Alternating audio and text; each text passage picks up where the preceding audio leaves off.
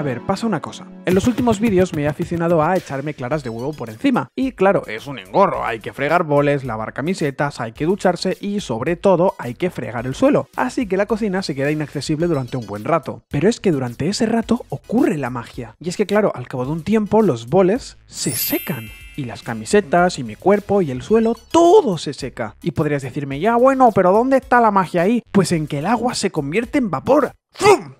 Y podrías decirme, ya bueno, pero esto lo puede hacer igualmente hirviendo el agua, ¿no? O sea, tú mismo dices que el agua líquida no puede existir por encima de los 100 grados. Y es que esa es la cuestión. Lo mires como lo mires, un charco de agua corriente y moliente no alcanza nunca los 100 grados. ¿Cómo demonios se convierte en vapor?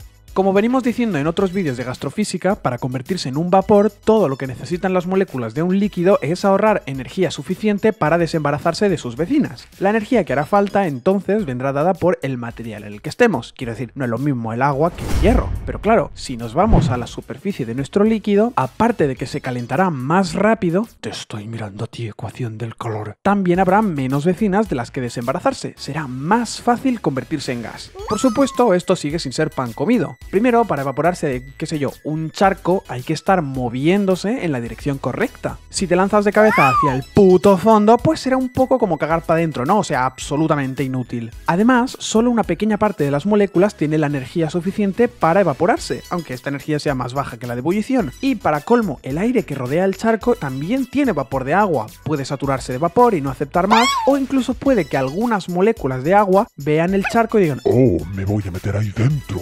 Así que, en fin, la evaporación es algo difícil y lento. Pero no tienes tanto tiempo, hombre, ya. Eres una mujer productiva del siglo XXI. Hay que darle brío a esto. Bueno, pues no rayarse. Tengo...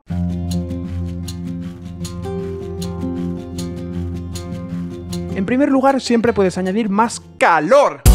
Más calor significa más energía para las moléculas de tu líquido y por tanto mayor probabilidad de que escapen. Por eso la ropa se seca antes cuando la tiendes al sol que cuando la tiendes en un pasillo angosto y oscuro. Porque la radiación... No, en serio, ¿a quién se le ocurre tender la ropa en un pasillo?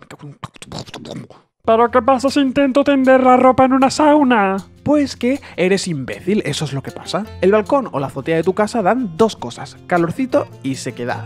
El aire de una sauna está saturadísimo de humedad y al ver que la ropa está solo parcialmente mojada, las moléculas del vapor de agua se van a poner en plan Oh, me voy a meter ahí dentro. y se te mojará más la ropa. Y para colmo la gente te mirará mal porque será como quién es este ser que ha venido a tender la ropa aquí. Y serás por siempre la persona que fue a la sauna a tender la ropa porque no sabe que la humedad es lo contrario de la sequedad y además verás que...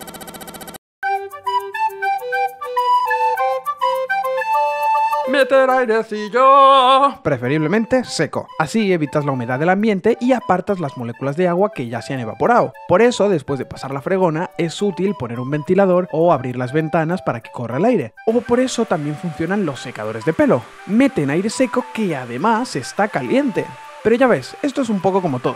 A veces, para solucionar un problema, lo único que necesitas es un soplo de aire fresco.